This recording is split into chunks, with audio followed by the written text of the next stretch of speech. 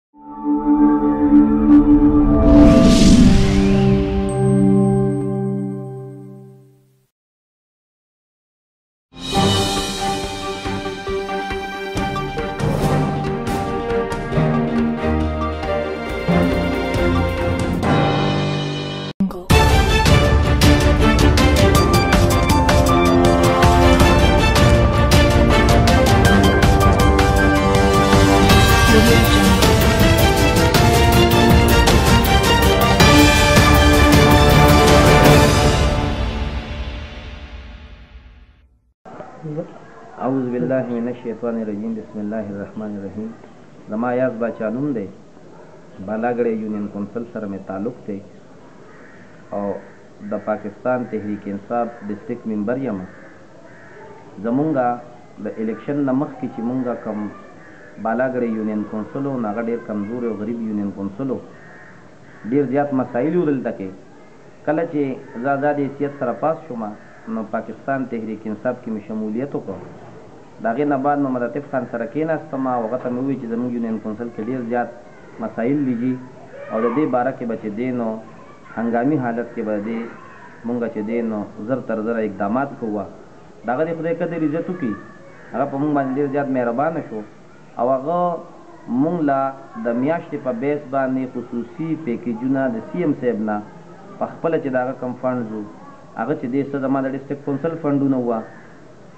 هغه مونږ کارونه شروع کړل او په تیزې سره مونږ بالا ګړې یونین کونسل په نقشه کې رو رو په چینج باندې او شکر الحمدالله دا دوه کاله چې زمونږ برابر شو نو په دې کې مکمل کارونه به نی برابر شی څه کارونه به پاتی می خو بالا ګړی شکر الحمدلله تاسو چی وګرځی او زمونږ د محمدعطف خان په فنډونو کی د ډسټرک کونسل په فنډونو کی تاسو وګوری نو مونږ په بالا ګړی کی تقریبا اسی پرسنټ چینج راوستو په هغی کی زمونږ چی دی نو اوس موجوده مو په دی مین بازار کی سټریټ لایټس هم منظور شوی دی. د جوماتونو شیشې منظورې شوې دي په دې کې چې دې نو ګیزرې د جوماتونو لپاره خصوصي او ګیزرې جدا دي جي او سولر سیستم چې دې دا د جوماتونو لپاره او د جینکو د مدرسو لپاره دا مو منظور کړي دي انشاءالله ان قریب زر تر زر او په دې باندې هم ټینډرې شوې دې انشاءالله ورک آرډر به دس پندره دن کې میلو شي په هغې باندې به هم انشاءالله زر تر زره کارونه شروع شي نو دا جي د تحریک انصاف یو چینج دې. او دا د مملطف خان یو ویژن دی، هغه وایي چې هر کلي کې، هره علاقه کې، هر یونین کونسل کې دې خلکو ته زموږ په ذریعه باندې هغه وایي چې سسته انصاف دې ته میلو شي. په دې کې جي ډویلپمنټل کارونو کې زموږ چې دی نو د بالا ګړۍ یونین کونسل د پاره کروړونه روپۍ فنډونه هغه راکړه، په هغې کې لارې کوڅې دي، اوس موجوده موږ ته ټیکه داران لګیا دي، که تاسو بیا وایې چې وبه ګرځو نو هغې باندې به هم ګرځو، نو په دې کې د دي ډنګي دا مسلې وي ډيري زياتي نو په هغي کي موږ سپري ګاني مو کړي د يونين کونسل په سطح باندي اوس چي دي نو موږ چي کوم دا زړي نالي دي په دي کي ګن بلا اوبو چکړ مکړ دا څيزونه په کي ولاړ دي نو محمد اطيف خان دا موږ ته هدايات پي چي تاسو په يونين کونسل کي څومره خرابي نالي دي چي په هغي کي اوبه ودريږي نو هغه ډرينونه چي دي نو په هغي باندي زر تر زره کار شروع کړي نو په هغي تقريبا زموږ دسپندره دي نشوي اوس موجودم په بالا ګړی یونین کونسل کی جنازګاه سره غټ ډرین دی په هغی کار روان دی انشاالله د دی نه اوزګار شو نو بیا د کلی مین کړکی چم وته وایی یا دغه ښکته چم کی د هغی هغه حیراب دی ډیر غټ او په هغی کی هر وخت چی دی دا ماشی رګن بلا دا پکی پراتی نو په هغی باندی شورو کوه لاری کوسی شکر دی تقریبا سټ پرسنټ چی دی لاری کوسی مو شوی. په دې کې روډز دي، په دې کې چې دې انتظارګاګانې دي، د دې نرشک نېر ډبل انتظارګاګانې دي، په دې کې ټراسفرمرې هم شکر الحمدلله مونږ چاليس بياليس ټراسفرمرې ولګولې اوس موجوده مبله د محمد عاطف خان دغه دي ټراسفرمرې څه پرتې دي او نورې هم انشاالله اوس چې دی نو يو ډاټسن را روان دی هغې کې نورې ټراسفرمرې هم دي هبه هم راشي انشاالله د بجلۍ په مد کې شکر دی زمونږ ډېر زيات کارونه وشو نور هم روان دي کيږي به. ان شاء الله تعالی د صحت په باره کښې چې دې شیرام خان ترکې خصوصي مونږ ته هدایات راکوي په خپله د شپې هم راځي د رځې هم راځي او هغه مونږ ته دا ډیر سخت اخکامات دي چې تاسو په هسپتال باندې ایني ټایم بې ټیمه بې ټیمه ټیمونو کښې ورځې چې دا سټاف چې دې د دې نه ښه ډیوټي واخلې نو ان شاء الله تعالی مونږ سره ښه سټاف دې په بالاګړې هسپتال کښې. او هغه ډی نایټ دی که دچې دی مخکې هسپتال به ویران پروت و تاسو مخکې به هم راغلي یی اوس هم لړ شی وګورئ نو د هسپتال حالات بلکل چې دی چینج دي شکر دی نه چاته څه تکلیف دی نه څوک شکایت کوي نه څوک کمپلینټ کوي بقیده ما هلته کې خپل کنټیکټ نمبر لیکلي دي په هسپتال کې چې چاته څه شکایت وي نو په دی نمبر باندې ځکه چې منسټر صاحب او زموږ شیرام خان هغه خو غونډه صوبه ده ورسره نو هغه ایټی ټایم چی دی ځان نشی را رسولی نو هغی مونږ له دا هدایات را کړی دی چی د کلی علاقی د عوامو څه مسل مسلی مسایل دی دا تاسو په خپله حل کوی نو مونږ به قیده چی دلته کم خلک ډیوټی نه کوی یا یا داسی ګړ بړ کوی یا نو به قیده واضح که هغه زما د یونین کونسل سره هم تعلق ساتی نو په هغی کی ډیر خلک مونږ چی دی نو په غفلت باندی چی دی منسټر صاحب ته او ډیچو صاحب ته شکایتونه هم پکی وکړو. هغوی د هغه وخت مناسبت سره په هغوی باندې بیا انکویري هم کینوو او بیا په انکویري کې چې هغوی د کوم جرم مرتکب شي نو هغوی بې قیده چې دی نو افسران بالا محکمه صحت والا هغوی بې قیده د هغوی ټرانسفر هم کړي دي او مزید به نور هم کوو د دې لپاره کوو موږ وایو چې کریپشن او دا چینج چې دی زموږ کوم دا په صحیح معنو کې دا موږ دې خلکو ته وښیو چې آو بالکل پي ټي آی چې دا نو دا یو ښه پارټي ده. او دا بلکل چې دی نو د دې وټ او د دې کارونو دی بې قیده د دې شیزونو حقداران دي او مونږ کوشش دا کوو چې مونږ د دې خلکو د دې عوامو په معیار باندې پوره پوره چې دی نو مونږ دې باندې اترو شو اوس نور جی چې دی نو ډویلپمنټل کارونو کې چې دی نو د دې مخکې هم نیوز والا راغلي وو هغوی له مونږ انټرویو ورکړې وه د دې بالا ګړۍ د خوړ غاړې دیوال وته وایي د کاڼي دیوال په هغې باندې اوس هم کار روان دی. خو چونکه محکمو دې ټينګ کړه چې دې محکمو کې پيسي نشته نو کارونه راته لږ سټاپ شوي دي نو مونږ افسرانو ته دا اپيل کوو محکمو ته هم دا اپيل کوو چې زر تر زره هغوي په دې هيله چې دې نو دا خپل چې کوم د هغوي بيلونه شوي دي او ټيکه دارانو ته پيسي ورکړي نو زمونږ کارونه به نور هم ډير په تيزي سره سټارټ شي. او زموږ چې کوم منشور دی نو په هغې باندې به چې دی بې قیده ګۍ سره یو ښه شعور به دې خلکو ته لړ شي او یو ښه عمل به دې خلکو ته لړ شي او دا خلک به د دې نه مطمئین شي چې او بلکل نو صرف موږ ته د فنډز لکوټي مسله ده بقایا خای سکولونه دي مډل سکولونه دي پرایمري سکولونه دي هایر سیکنډري سکولونه دي دا مختلف سکولونو باندې کارونه هم روان دي څه کمپلیټ شو منسټر صاحب افتتاحګانې مو کړې یو ښه جمنیزیم چی زمونږ بالا ګړی په تاریخ کی داسی جمنیزیم نه مونږ چاته لیدلی او نه به راشی دا زمونږ د حکومت یو ښه کارکردګی ده چی لکه جمنیزیم زمونږ د کلی علاقی د دی خلکو لپاره د انټرټیمنټ لپاره د هغی د صحت لپاره زموږ منسټر صاحب چې دې نو په دې باندې زور او شور سره کار شروع کړی دی او کار پرې روان دی د نوي نسل لپاره چې دې نو دا یو ښه دغه دی نو جمنیزیم هم ان شاء الله تعالی چې دې لنټر ته رسیدلی دی کار پرې روان دی ډیر تیزې سره او ان شاء الله ان قریب که خیری چې دې نو دوه درې میاشتې چې تیریږي نو جمنیزیم به موږ لا چې دې نو چابیانې راکړي او یو ښه جمنیزیم کې به زموږ د کلي علاقې دا غریب عوام دا غریب خلک دصحت په دغه کې چې دې نو ددي به یو ښه دغه کیږي ان شاءالله تعالی بقایه جی زمونږ یونین کونسل کې اوس موجوده څه مسلې داسې دي چې هغه پاتې دي لکه اوس مونږ د کاڼي د دیوال دا خبره وکړه نو دا به صرف تر دغه میاګانو تر حجرې ساړه جوماته پورې به دا ورسي خو چونکې اډې ته به ونه رسي ځکه چې فنډ کم دی نو محمد عطف خان ته زموږ دا اپیل دی چې هغه موږ له نور مزید فنډ راکړي د دیوال لپاره چې دا دیوال موږ هغه جنازګاه پورې ورسوو نو دا به د دې بالا ګړۍ یو خصوصي بای پاس شي داسې بای پاس به شي چې کله دلته کې دوه څاڅکي باران وشي او بیا په هغه باران کې چاکره مړي وشي نو موږ بیا چې دې ډیر په تکلیف باندې زموږ د کلي دا خلک هغه مړي چې دی نو همېشه ته نه چې خپې خوېېږي او دغه ځای ډېر دنګ دی نو دا دېوال چې کومې علاقې ته جوړېږي نو هغه د هغې چې ډکونو شي بهترین دا کورونو پورې ځکه چې څو پېرې په کټ کې مړې روښکي د کورونو نه نو هغه مړې چې دی نو هغه خلک په داسې طریقه روښکي چې دی د کټ نه پرې نه وځي. او د جنازې ټېم اکثر زموږ نه چې دې نو خطا په دې شي چې ډېر په حوصله په استقامت بعضې ټېم په طلایو کې خلک خپل مړې چې دې نو روغ کړي او بیا چې کوم سم ځای ته کړي نو بیا د طلایې نه مړې کټ ته ټرانسفر کړي نو دا یو ډېر اهم مسله وه زموږ او دا محمد عطیف خان حل کړه اوس مزید چې موږ له داسې یو کروړ دوه کروړ روپۍ نور فنډ راکړي د دېوال لپاره او هغې سره د ډکون لپاره. نو په هغې باندې به زمونږ د کلي دا خلک ډېر زیات خوشحاله وي او د دوی به ډېره غټه مسله کوم دیرینه مسله چې وه زمونږ د خوړ د دېوال یو خو به اوبه نه راوړي بل چې دی نو دغه دغه چې دی نو د کاڼي د دغه د دېوال چې ووالي شي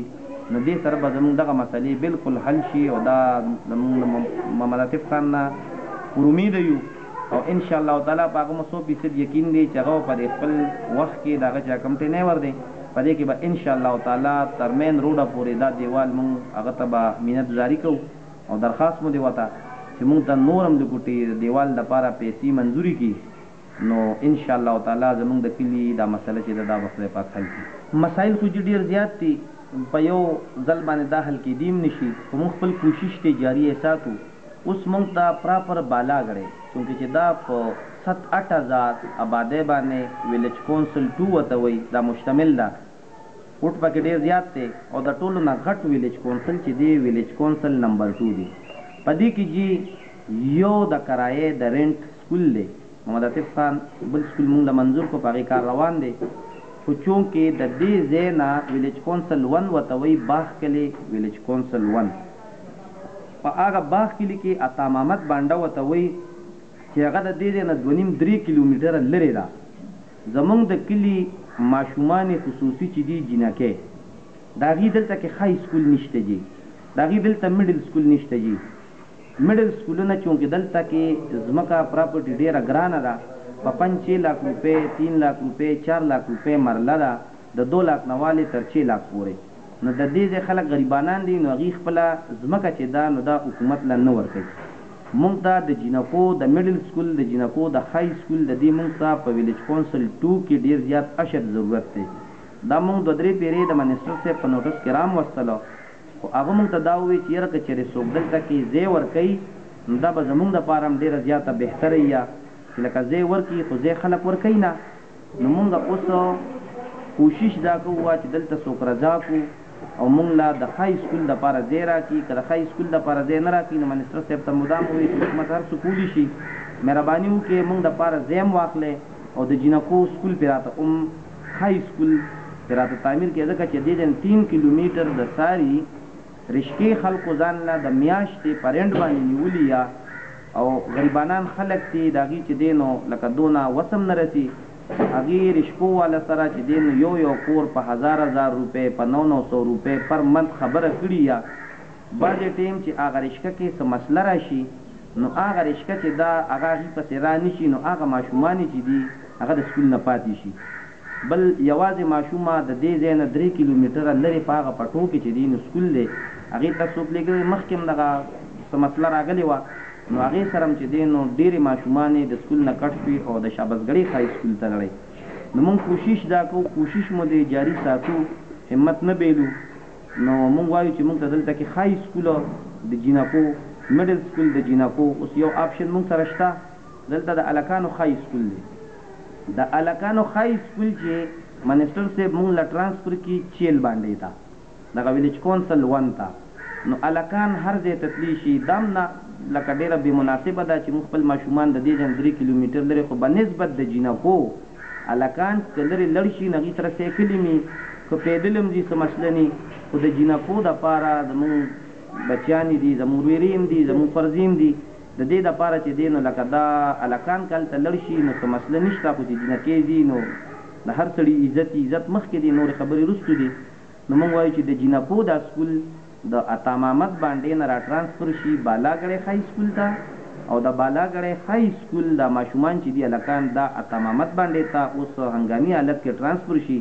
نو دا به یو ډېره ښه خبره يي. او په دې باندې به زمونږ د دې یونین کونسل دا ټول خلک ډیر زیات خوشحاله وي چونکه سابقه حکومتونو کې چې دې دې خلکو دې سیاسي خلکو ته ډیر زیات مینت زاري وکړل چې یاره که زمونږ لپاره داسې وشي نو لکه دا به ډیره ښه وي نو عاطف خان خپل کوشش کوي خو لکه بعضې ټیم هغه سره هم غونډه صوبه ده دلته که پيدال کښې خلق هم راشي نو څوک ورته څه مسئلې بياني ته څه مسئلې بياني يا نو هغه غريب هم چې دې يو تن دې او لکه مسائل ډير زيات دي نو مونږ وايو چې مونږ ته د جينکو دا سکول دلته شي او د هلکانو دا سکول هلته شي نو دا ډيره غټه او بله جي د کچرې په باره کښې ډيره غټه مسئله ده دلته کښې چې دې نو زمونږ په بالا ګړې ويليج کونسل کښې ټو کښې کچرې خلک د کورونو نه روغ کی بار په لار کی وغورځی تاسو که وګرځیدې نو تاسو ته به ځای په ځای د ګندګې ډیرونه داده که ټیمه والا دلته کی هیڅ قسمه کردار نه ادا کوي نه ټیمه والا چه دلته راغلي دي نه ټیمه والا چه دی نو دلته څه کار کړی دی همیشتن مونږ ته نالیم د ګندونو ډکی همیشتن ډیرانونه دي دلته ډیر زیات نو دا مونږ چه دی نو ټیمه والو ته دا درخواست کوو چه هغوی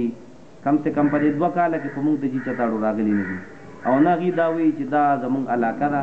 نو لکه د هغوي نه مو ډيره غټه ګيله ده او زمونږ د يونين کونسل دا خلک هم ډير زيات خفه دي هغوي وي چې يره دا ټيمه واله راشي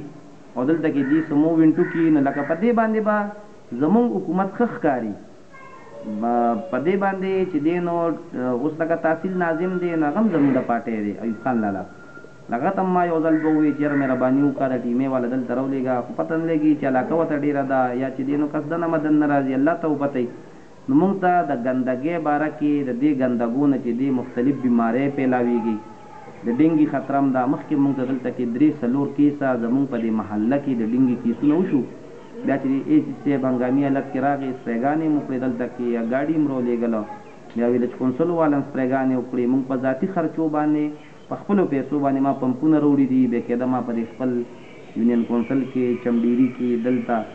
نو لکه د مونږ چې څه وس وي نو مونږ کوو خو لکه مونږ وایو چې د دې ګندګو نه د دې مرضونو نه افتونو نه زمونږ دا خلک چې دې په امن کې شي نو زما چې څونه وس وي ذاتي نو زه خپل وس کوم که چې لکه حکومت هم راسره لږ تعاون وکړي نو مونږ به ډیر زیات خوشحاله دپاکو اوبو په باره کې جي زمونږ دلته مخکې چې دې نو.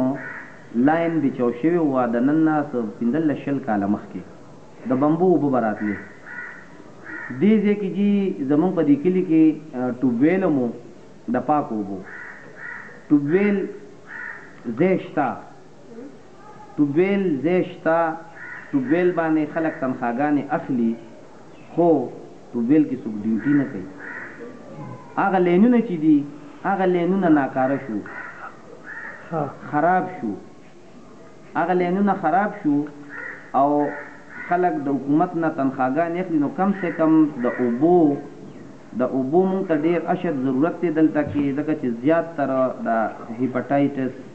سی ای بی سی دا بیماری ډیرې زیاتې لګي د دینه نو موږ دا وايو لکه زه به درته د خپل کور خبره وکړم، الله ګواه دی چې هغه راز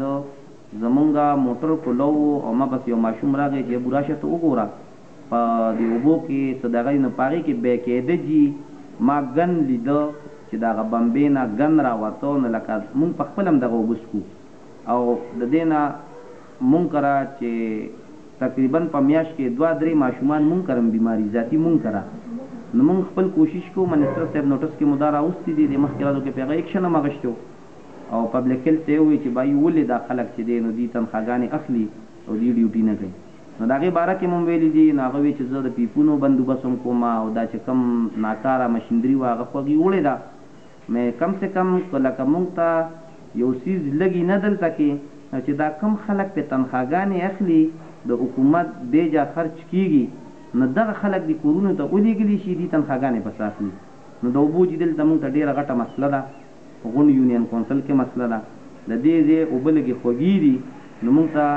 مسلې شته خو دونه نشته خو دې کې داسې غریبانان خلک دې چې تاسو دې جلار ته لړ شئ تاسو دې باغ کلي ته لړ شئ تاسو دې هندو کلي شامراز کلي ته لاړ شئ نو هلته کې جي تروي اوبه دي نو هغه خلک چې دې هغې ډېر چې دې نو ددې بیمارو ددې څیزونو سره د هغې لکه یو قسم جنګ روان دی غریبانان خلک یي زمیندار ټایپ خلک یي هغوی په دې نه پوهیږي چې آیا په دې اوبو کې کوم قسم جراثیم دي کوم قسم بیمارۍ دي خو د هغوی مجبوري ده څکي یې نو موږ دا وایو لکه د اوبو د فارم خصوصي لکه داسې سولرایزیشن دا کوم شمسي توانایي والا دا پمپونه دي چې دا دغې علاقو کې ولګي نو لکه هغه خلکو ته به ډېره زیاته پیده هم شي او د هغوي صحت به هم په دې باندې بچ شي.